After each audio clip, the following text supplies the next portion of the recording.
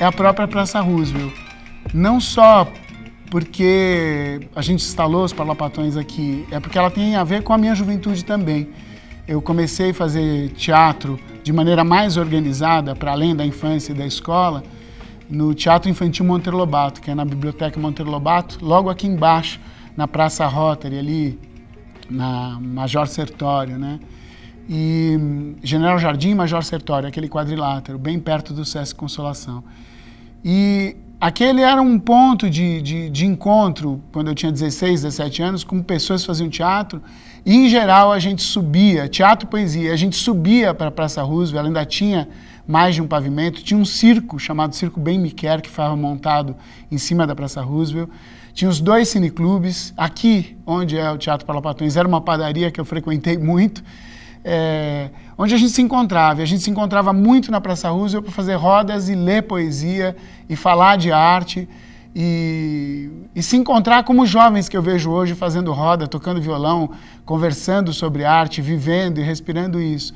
Quando a gente começou a reformar e a, a mudar toda a praça, e, mudar aqui dentro do espaço, e percebeu que quando a gente inaugurou o espaço, na relação que a gente já tinha com os sátiros, com outros teatros, tinha o Teatro X, tinha a livraria HQ Mix, a gente começou a perceber que é, esse convívio de pessoas, especialmente pessoas jovens, estudantes de arte, estavam estabelecendo uma nova conexão com esse lugar. Eu, eu tive aquela sensação do eterno retorno.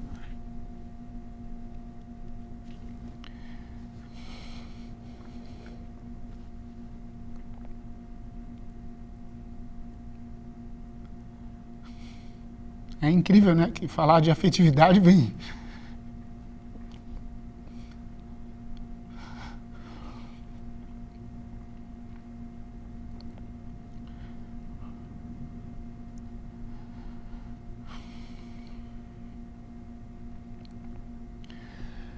é um, um ciclo, né? Dentro da cidade.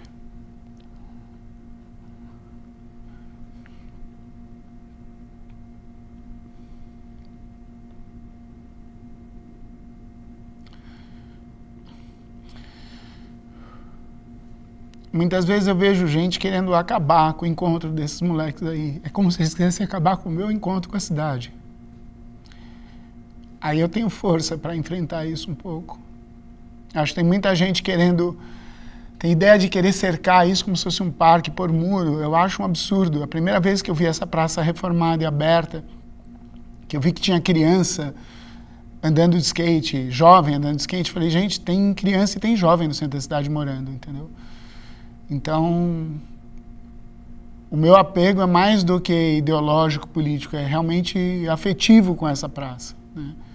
Hoje o meu teatro faz parte da história dessa praça, o meu grupo tem tudo a ver com isso.